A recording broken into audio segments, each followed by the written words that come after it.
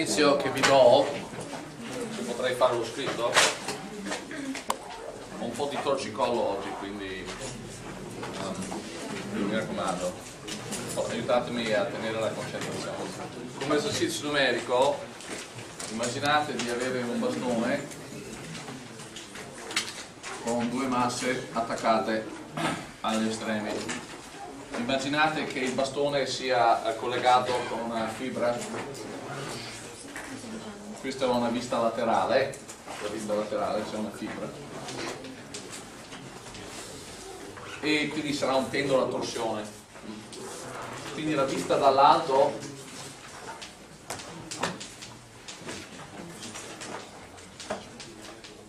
è questa, questo è il vostro bastone. E immaginate che um, quindi questa qua sia la direzione di equilibrio cioè il bastone è il bastone il pendolo, il pendolo a torsione uh, la fibra non è attorcigliata quindi questa è la configurazione di equilibrio nel senso che se voi la tenete con la mano non sentite nessuno sforzo muscolare particolare tenete il pendolo fermo lasciate la presa e lui rimane inquieti. Evidentemente la fibra non è attorcigliata, non c'è un momento torcente. Poi voi avvicinate, quindi chiamiamo questi oggetti, di, questi oggetti di massa M, M piccolo, sono due masse uguali, poi mettiamo dei valori numerici. Avvicinate invece a questi corpi, magari questa l'ho vista dall'alto, magari avvicinate un, un altro corpo di massa M grande e simmetricamente un altro corpo di massa M grande e ci sarà uh, una forza di attrazione gravitazionale tra queste masse. Quindi questa massa sarà attratta, ci sarà una forza di gravitazione, qua ci sarà una forza di gravitazione vedete che c'è una coppia, una coppia di forze che attorciglierà la fibra. La fibra resisterà perché mi piace essere attorcigliato. Quindi uh, immaginate questo di nuovo la vista sia dall'alto questa è la direzione originaria della, della fibra torsione che viene infatti attorcigliato e quindi l'angolo non è più 0 gradi ma è attorcigliato di un certo angolo il pelo della torsione è deflesso e deviato dalla direzione originaria di un certo angolo perché qua avete appunto un corpo ma mettiamo dei numeri, mettiamo che la lunghezza del bastone, quindi la lunghezza del bastone, dove posso disegnarlo? Disegniamo qua. Lunghezza del bastone, la chiamiamo D, sia di un metro. Immaginate che queste massette qua, che possiamo pensare puntiformi, cioè sono piccole, questa sia, che so, qual è il numero che ho, che ho ah sì, questo ricordarmi a un etto invece questo signore è una bestia di 100 kg okay. va bene? E immaginate che questa è la configurazione del nuovo equilibrio quindi il nuovo equilibrio. Configurazione nuovo equilibrio. Perché la distanza. Silenzio per cortesia, vi sento. E la distanza tra il, la massa uh, attaccata al pendolo, che fa parte del pendolo, e il centro della massona sia di, uh, cosa avevo messo, 15 cm. Quindi è 0,15 metri. Io sento un brusio, siete voi? Silenzio. Grazie. Quindi la distanza, la massetta, la massona, la distanza di equilibrio quindi tra il centro, eh, mi raccomando, tra il centro e la posizione della massetta, quindi questa la chiamiamo puntiforme, questo ha una sua, visto che è una bella massa, dovete immaginare, comunque uh, dimostreremo che la forza di gravitazione che questo signore sente è come se tutta questa massa fosse concentrata al punto, quindi al centro, quindi la distanza che serve per, per calcolare la forza di gravitazione è la distanza tra la massa puntiforme e il centro della massona. Questo è, lo dimostreremo. Uh, credo di avervi dato tutto. Uh, G ovviamente vi lo devo dare è di cosa, 6 e 6, 7 per 10 alla meno 11 cosa 11 cosa ricordate la formula, la formula di gravitazione è la G la massa, la massa diviso la distanza al quadrato. Quindi questa roba qui sono newton metri quadri diviso chilogrammi al quadrato. Quindi questi sono newton a metri quadri chilogrammi alla meno 2 va bene? calcolate l'angolo per farlo mi manca qualcosa, no? Cos'è che manca? Informazione sulla fibra dovete sapere qualcosa sulla fibra, cioè qual è la costante di torsione della fibra. E la costante di torsione della fibra non ve la do direttamente, ve lo do con un numero e ve lo do con il periodo d'oscillazione, cioè prima che voi, prima che voi avviciniate le massone, se voi attorcigliate la fibra, lasciate la presa, lui fa il suo bel moto uh, uh, armonico e vi do il periodo d'oscillazione eh, dove è il numero che mi ero fatto. 860 secondi. Quindi il periodo di oscillazione, scrivo qua,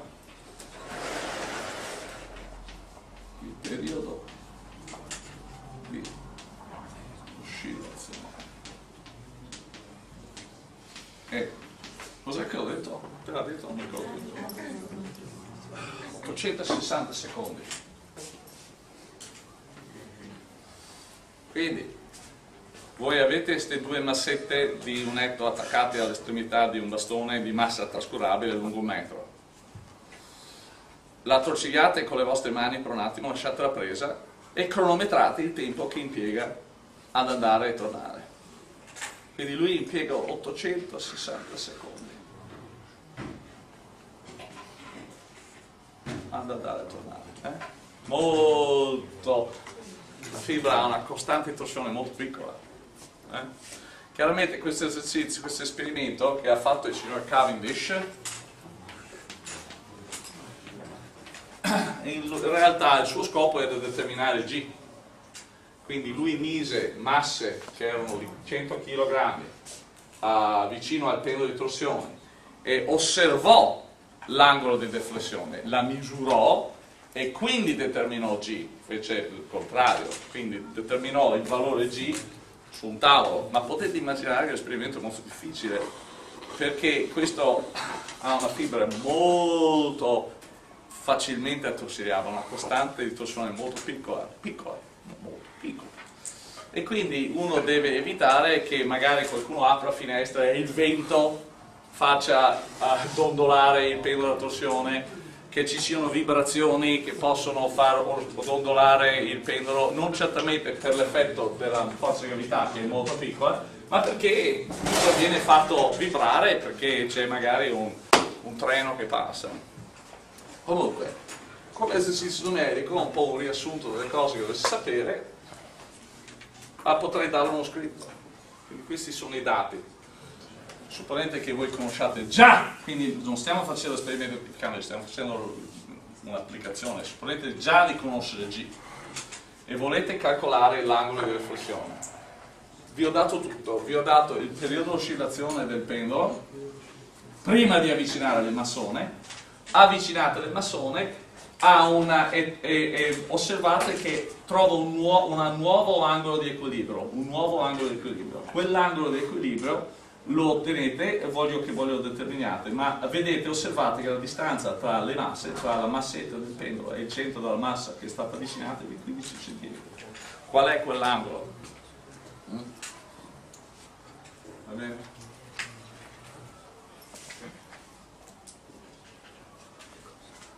Pensateci un attimo. Un altro esercizio che potrei dare lo scritto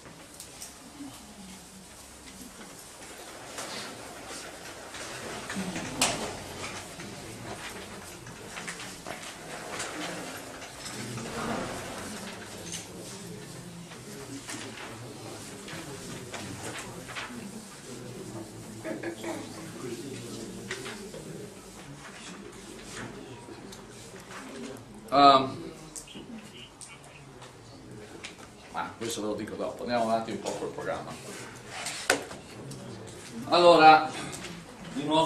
velocemente le questioni di Maxwell, necessità di scriverle, track. Le scriviamo in forma differenziale prima, quindi sono, sono quattro equazioni che descrivono come le sorgenti creano campi elettrici e magnetici.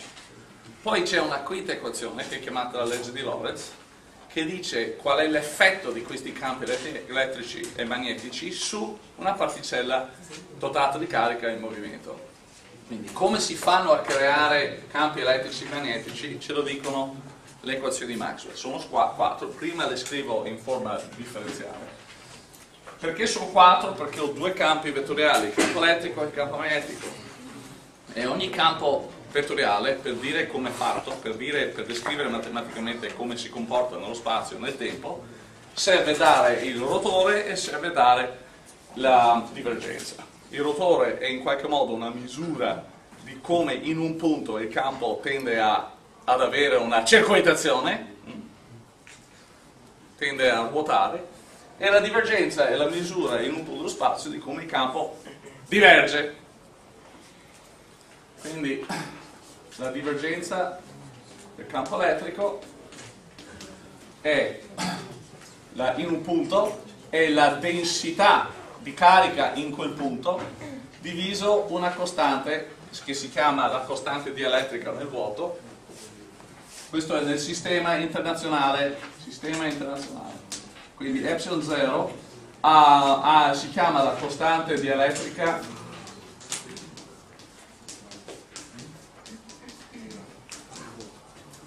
nel vuoto del vuoto.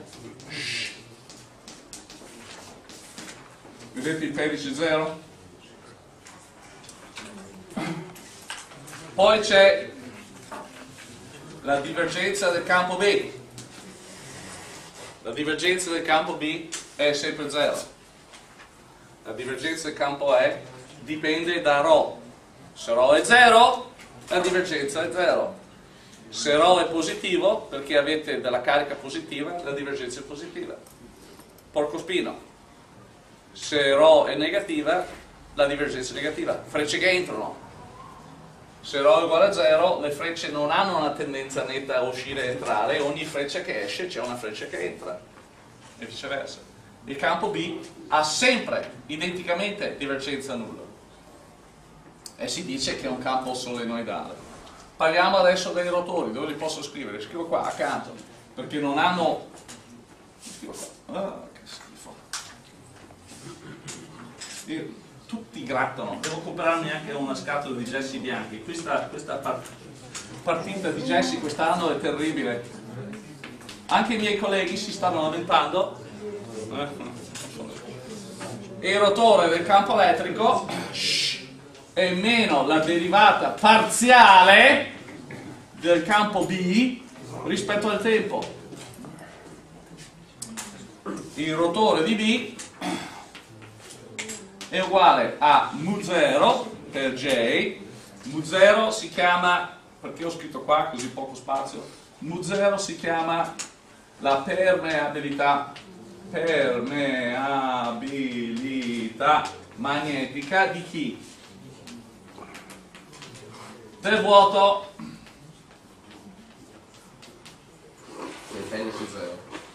Più mu 0 epsilon 0 la derivata parziale rispetto al tempo del campo elettrico. Queste sono le equazioni di Maxwell. Sono 4 come vedete sono accoppiate tra di loro. Al campo elettrico interessa quello che fa il campo B. Al campo magnetico interessa quello che fa la E sono accoppiate, in generale lo sono. La J si chiama la densità di corrente, ovviamente corrente elettrica, posso risparmiarmi la parola adesso in futuro. Questa è la densità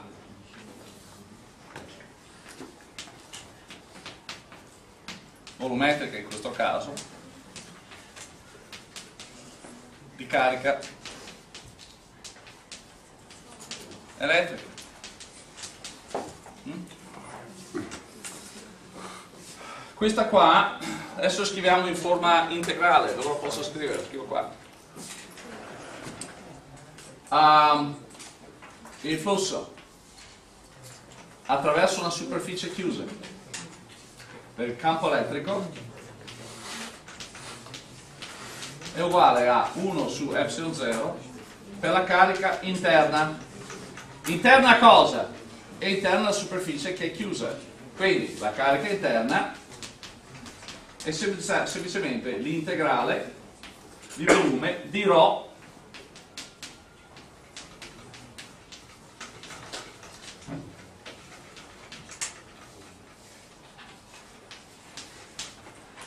sul, sul volume che era chiuso da S.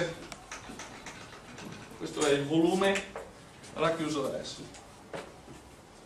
Questa è la prima legge, è la legge di, questa si chiama la legge di Gauss del campo elettrico. Questa è la legge di Gauss del campo magnetico. Questa è chiamata la legge di Faraday, Lenz, Neumann. Questa è chiamata la legge di Ampere, Maxwell. E questo pezzo l'ha aggiunto Maxwell. Chiaramente il flusso del campo magnetico, del campo B, attraverso una qualsiasi superficie chiusa è rigorosamente zero. La legge di, di Faraday si scrive così, la circuitazione di E lungo una qualsiasi curva chiusa è uguale a meno la derivata rispetto al tempo per il flusso del campo magnetico dove il flusso del campo magnetico è uguale a, per l'appunto al flusso attraverso la superficie che è aperta che si appoggia sul C di B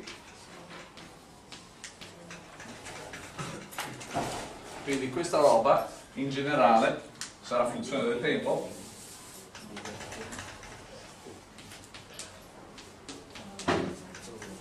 quindi questa funzione qui quando la derivata rispetto al tempo cambiate il segno vi dà la circuitazione quindi quando il campo magnetico non cambia nel tempo immaginate il campo magnetico sia identicamente zero non c'è mai, non c'è il campo magnetico in qualsiasi istante del tempo il campo magnetico non c'è allora vedete che la circuitazione di C è uguale a zero. Qualora abbiate, abbiate qualcosa invece che cambia il tempo che il campo magnetico sta cambiando del tempo allora la circuitazione sarà diversa da zero poi abbiamo la quarta legge, che è la circuitazione del campo B lungo una qualsiasi curva chiusa è uguale a mu0 per la corrente, chiamiamola così, uh, uh, facciamo conduzione concatenata, con K, con K, mm, più a mu0 per la corrente di spostamento. Concat concatenata dove? La corrente di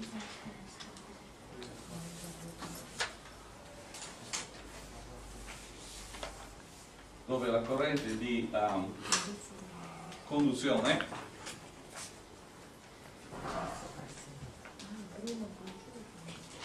con cat è uguale al flusso della densità di corrente.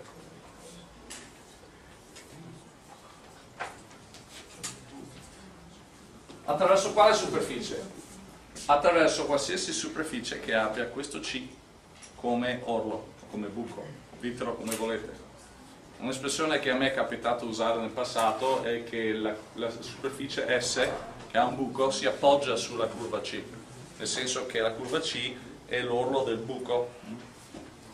E la corrente di spostamento concatenata invece è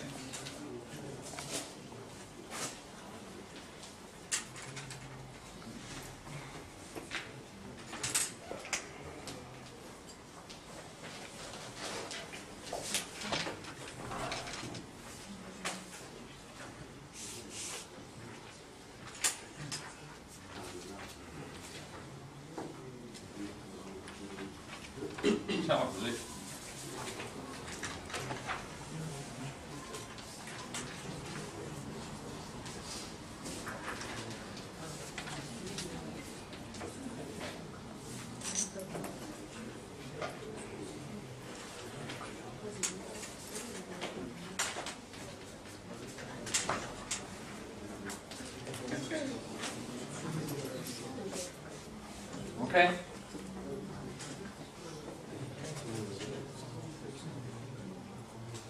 Perché c'è il brusio? Le sapete già queste cose? Sì, perché le ho fatte giù.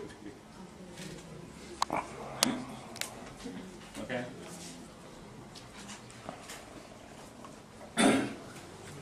Deve essere chiaro che queste equazioni scritte in forma differenziale o scritte in forma integrale descrive come costruire, come generare, come fare in modo che in uno spazio ci sia un campo elettrico, un campo magnetico. Per creare un campo elettrico avete essenzialmente due modi. O avete delle cariche che creeranno un campo elettrico, come per la legge di Gauss, no? Oppure variate un campo magnetico. Perché variare un campo magnetico variare un campo magnetico vi crea un campo elettrico. Eh. Analogamente, voi per creare un B avete due modi. O prendete delle cariche e li muovete, e quello si chiamerà la densità di corrente elettrica, cioè la corrente elettrica. Avete dei portatori di carica, degli elettroni, dei protoni, degli ioni, e essendo cariche creeranno certamente un campo elettrico, ma se li muovete creeranno un B, perché crea muovendosi sono un J e un J vi creerà un B. Ma potete creare un B anche senza avere cariche in movimento. Potete creare B anche con un, altro tipo di corrente che si chiama corrente di spostamento, che di nuovo vi ripeto che il nome è molto infelice perché in realtà non ci sono cariche che si muovono, le cariche che si muovono sono descritte dalla corrente di conduzione. Questo tipo di corrente che genera un campo magnetico è un campo elettrico variabile nel tempo. Va bene, qualche piccola considerazione. Il mio collo stamattina fa proprio molto male. Facciamo qualche semplice considerazione.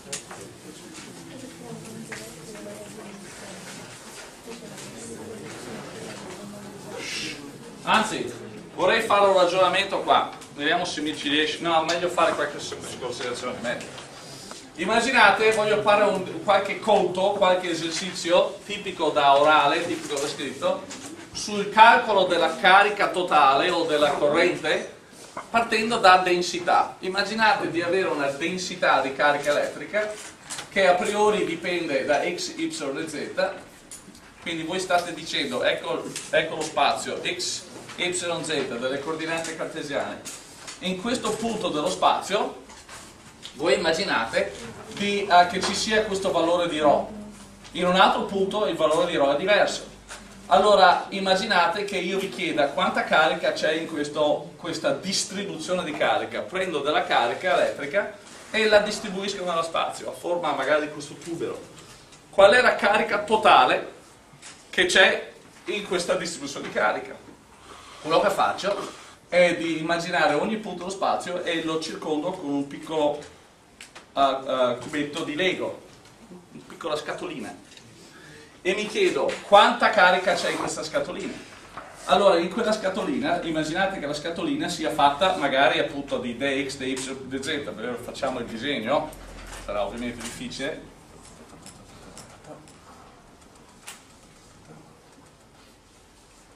Quindi qua sul piano XY avete la proiezione di questo, questo rappresenta dei delta Y, questo rappresenta delta X, ovviamente l'altezza di questo è delta Z, quindi qual è il volume delta X, delta Y, delta Z, qual è il volume di quella scatoletta? Il volume di quella scatoletta, magari questa è la scatoletta iesima, è delta XI delta yi, delta zi, molto semplice, no? Questo è la delta yi, delta xi e delta zi. Quanta carica sta là dentro? Cos'è la ρ? È la densità volumetrica di carica. Quindi che la carica che è qua dentro, la chiamiamo che so, delta qi, la carica che è dentro la iesima scatola, è uguale alla ρ calcolato nel punto, in questo punto qui, quindi chiamiamo questo il punto I questo è un altro punto. Attorno al punto j-esimo metterò un'altra scatola. Attorno a questo punto qui metterò un'altra scatola. Quindi io voglio capire quant'è la carica totale che c'è in questa specie di tubero ok? quindi quanta carica c'è in questa scatolina? Ho il valore della d rho in quel punto dello spazio moltiplicato per questo qual è la carica totale? è la somma questa è una stima si intende una stima è la somma delle cariche che stanno all'interno delle n scatoline. Quindi questo è uguale alla sommatoria della ρi delta VI che va da 1 a n, quindi questa è una stima. Prendo il mio tubero, la taglio con un coltello a fare tante, perché immaginiamo che questa sia una patata e volete fare patate al forno, quindi tagliate per fare dei cubetti o dei rettangoli della forma che vi piace tanto e quindi la vostra patata è la composizione di tutti questi, effetti, di, queste, di questi Lego, di questi volumetti. Quindi il volume di ogni singolo volumetto moltiplicato per la carica che è in quel volumetto, la somma vi dà, vi dà la, la, la stima di quello che è lì. Come fate a fare una stima migliore? Su cosa si basa la stima? Si basa la, si basa la stima sul fatto che qua io ho, ho, ho il volume, shh, la suddivisione del tubero in volumetti non è quello di contenzioso. Io la divido in, ecco, ecco un volumetto, è una zoomata. Ma io devo moltiplicarlo per il valore di, di questa funzione ρ in un punto che è qua dentro. Quale punto? Il punto proprio al centro questo punto, questo punto, questo punto, qualsiasi punto, io ho un'infinità di scelte della, del punto x, y, z da associare all'iesimo volume e in quel punto io calcolo la ρ e quel valore di ρ per quel punto associato all'iesimo volumetto lo metto qui quindi ognuno di noi magari sceglierà un punto diverso all'interno di quel volumetto e scegliendo in maniera arbitraria quel punto userà il valore di ρ in quel punto e lo scriverà, e lo scriverà qua. Quindi persone diverse sceglieranno diversamente il punto all'interno del volumetto e scriveranno quindi valori di ρ diversi e quindi le loro stime diverse, saranno diverse, ma nel limite che il numero delle, delle, delle, dei Lego tende all'infinito in modo che ognuno di loro, il volume di ognuno, ogni volumetto tenda a zero, tutte queste differenze convergono verso un numero unico, ok? E quel numero unico, unico si scrive così, faccio spazio. Quindi questo converge verso un simbolo che dove la somma diventa una somma sui volumetti sommo sui volumetti. Ma siccome il volumetto in ultima analisi è una delta x, delta y, delta sto sommando su, vedete che il simbolo che uso sono tre, è un integrale triplo, è un segno di tre integrazioni, perché mi ricordo che io in realtà sto integrando sia in x che in y che in z. Quindi questo mi diventa per l'appunto dx, dy, dz, come ho scritto là, però vado molto più snello adesso, e questo diventa l'integrando, che è la ρ nel punto x, y, z, ok? E io esaurisco, integro su x, in modo da esaurire la coordinata x di questo oggetto in modo, poi integro su y in modo da esaurire l'estensione y di questo oggetto, poi integro in z per esaurire l'estensione z di questo oggetto. Quindi questi sono, sto integrando in x, in y e in z fino a esaurire uh, mia, il, tutto il mio volume. Quello è la ρ, d'accordo? Non c'è niente da, da aver paura in questi simboli, sta semplicemente ricordando che in analisi la carica è la somma delle cariche racchiuse dentro tanti volumetti. Quanta carica è in, un elemento, in, un, in uno dei volumetti?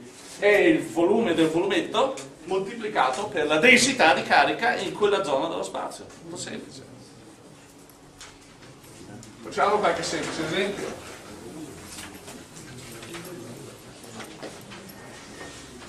Immaginate che la ρ, che a priori dipenda da x, y e z, in realtà dipenda, shh,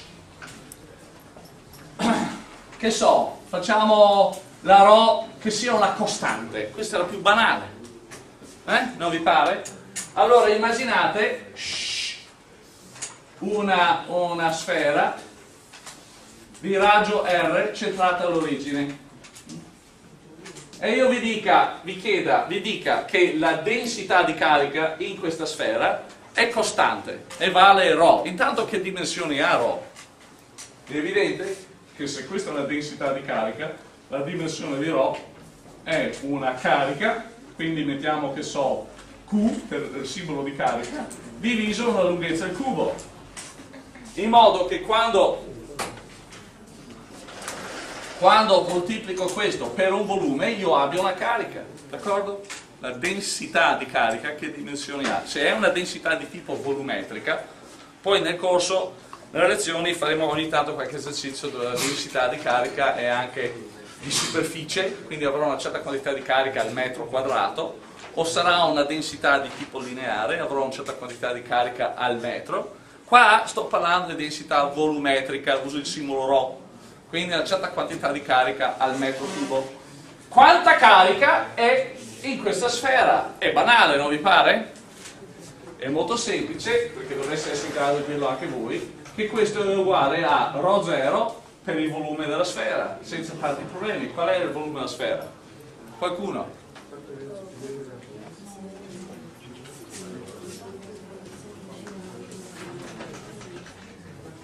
Ok? Molto semplice, non vi pare? Questa è una puttanata. Supponiamo adesso che la ρ non sia costante, che non lo sia. Questo è il caso in cui sia costante, è molto semplice. Uno potrebbe usare questa notazione molto sofisticata e fa una cosa del genere, no?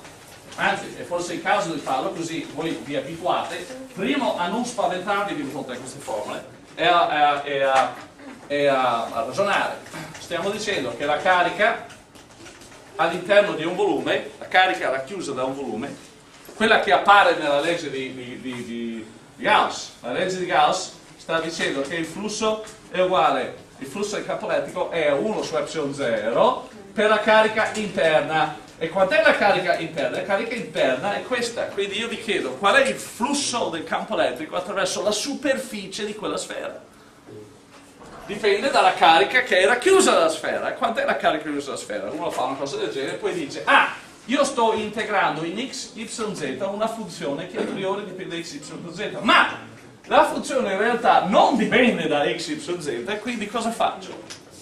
Porto la ρ fuori dal simbolo di integrale e mi limito a integrare x, y, z sulla mia forma geometrica. Ma questo cos'è? Questo è proprio il volume, no? È il volume della, della, della zona racchiusa dalla superficie S. E quindi il volume della sfera è, è ecco fatto. Okay? Ma facciamo un caso più complicato, dove la ρ dipenda, che so, dalla distanza del punto dall'origine, dove ρ è uguale a x quadro più y quadro più z quadro, radice.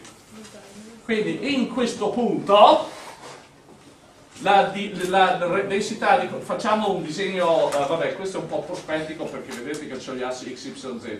Questo punto che ha una certa distanza dall'origine, il valore è diverso, il, il, valore di ρ è diverso da un punto che è qui, che ha una distanza maggiore, è diverso dal valore di ρ che è qua, che ha una distanza più vicina. Quindi facciamo un caso in cui la densità di carica è distribuita in maniera con una simmetria sferica tutti i punti che hanno la stessa distanza dal centro hanno lo stesso valore di ρ. Vedete? Tutti i punti che hanno la stessa distanza dall'origine avranno lo stesso valore di ρ. Quindi è una distribuzione con simmetria sferica. Quindi adesso l'esercizio consisterà di immaginare diverse dipendenze dalla distanza. Mm? D'accordo? immaginiamo una, una dipendenza di questo tipo, che la ρ dipenda dalla distanza del punto dal centro della sfera, uh, con un andamento, facciamo un andamento lineare. Eh? A è un numero che ha opportun opportune dimensioni, poi vi potrei chiedere che dimensioni. Rho è una, è una carica per unità di volume, quindi A deve avere dimensioni tali che moltiplicandolo per una lunghezza vi dia la dimensione giusta. Quindi immaginate che A sia un valore costante e uh, per R, quindi questa è la mia funzione, la scrivo così, come farebbe un matematico. Farei per R minore o uguale di R maiuscolo, che è il raggio della sfera, ρ vale AR. E per R maggiore di R, ρ vale 0. Questa è la mia funzione. Sto dicendo come dipende la densità di carica in funzione della distanza dal centro della sfera. Cresce linearmente fino, fino al raggio R maiuscolo della sfera, poi fuori dalla sfera non c'è carica, quindi ρ uguale a 0. Quella è la funzione. Calcolare dunque la carica che è dentro la sfera, la carica che apparirebbe nell'equazione di, di, di, uh, della legge di, Gauss. Eh, il flusso del campo elettrico è uguale 1 su epsilon 0 carica interna. Quant'è la carica interna? Prima devo calcolare questo, prima di dire cos'è il flusso. Allora mi devo arrotolare le maniche e devo pensare, no?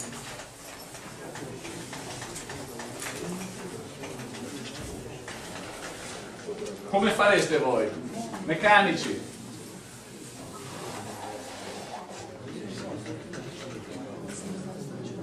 Qualcuno ha un'idea?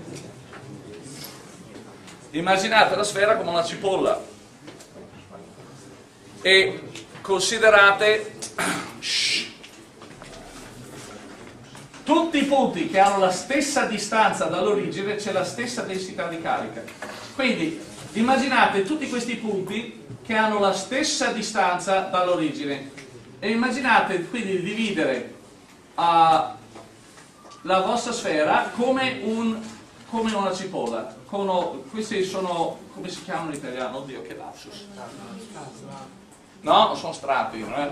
vi ricordate che nel contesto, nel contesto del, del disco quando calcolavamo il momento di inerzia del disco quelle erano corone circolari queste invece sono qual è l'espressione? sono dei gusci sferici, chiamiamoli così, ok? Gusci sferici o sferici. Eh? Quindi tu, tutti i punti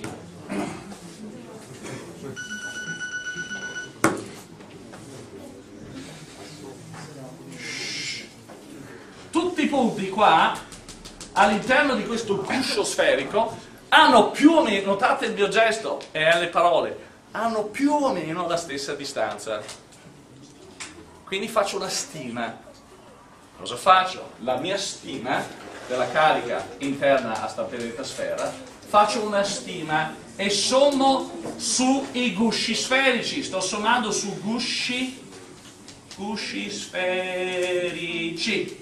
Divido quindi in n gusci sferici come una cipolla, c'è quella più interna e quella più esterna.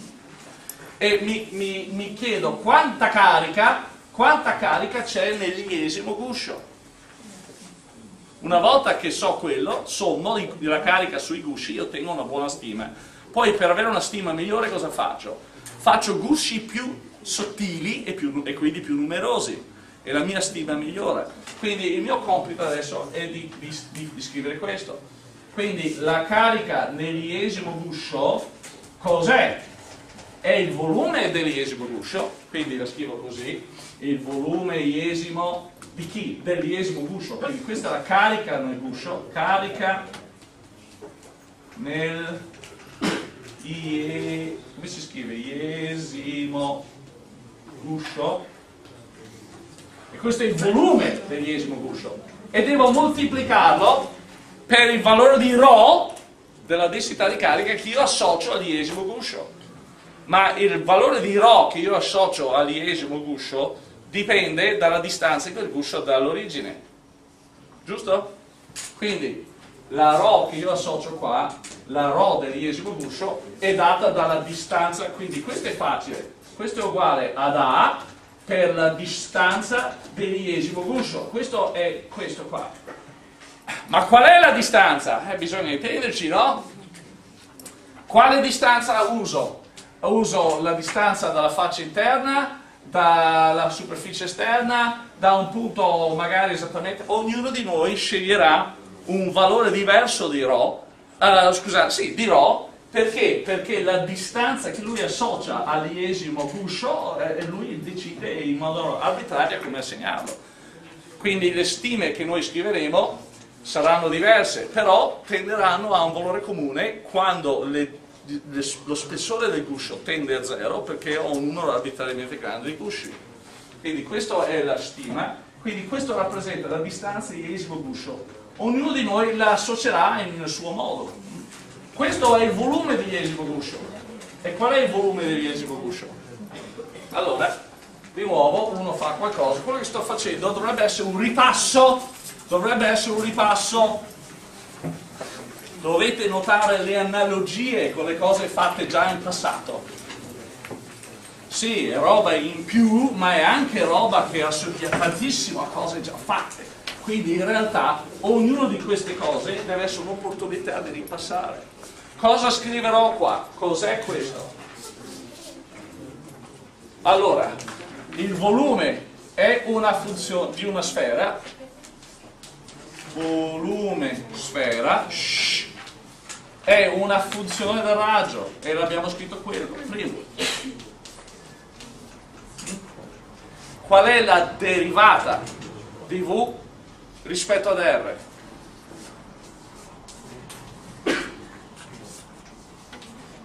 cos'è? è 4π r quadrato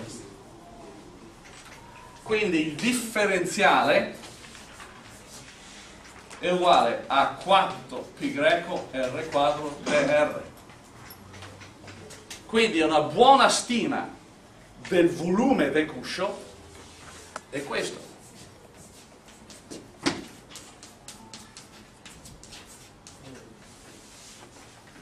Quello è quello che scriverò là. Quindi dico che il volume del guscio è il suo spessore moltiplicato per la, per la superficie del guscio. 4π r quadro, la superficie, no? Quindi qua scrivo 4π r quadro, quale r? La RI, no? Qualunque esso sia, la distanza dall'estremo interno, dalla superficie interna, qualunque voi scegliate, questo è 4π ri al quadrato per lo spessore dell'iesimo guscio. Ok? E quindi scrivo sommatoria di A, guardate le RI, ho uno qua e due qua, quindi ho RI al cubo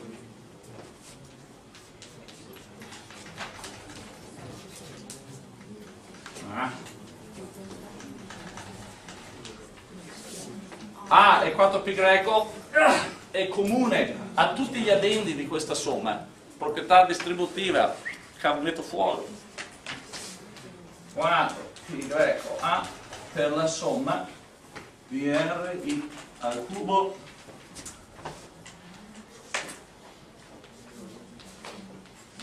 ok? Quindi questo spessore qua è quello che io chiamo delta Ri, ok?